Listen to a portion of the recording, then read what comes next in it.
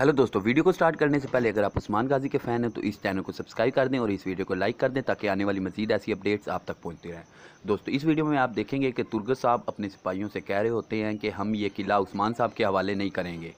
और दूसरी तरफ़ उस्मान साहब उलूफ़ के ठिकाने पर चले जाते हैं और एतमूर को उसके जंगल से छुड़ा लेते हैं। दोस्तों, मजीद अपडेट्स के लिए इस चैनल को सब्सक्राइब करके इस वीडियो को लाइक कर दें। शुक्रिया।